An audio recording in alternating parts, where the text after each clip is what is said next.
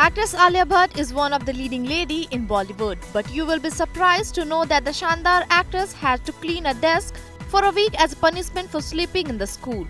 On Monday, Alia was present at an event to celebrate Children's Day and here the actress shared her funny memories from the school days. Catch the funny moment here.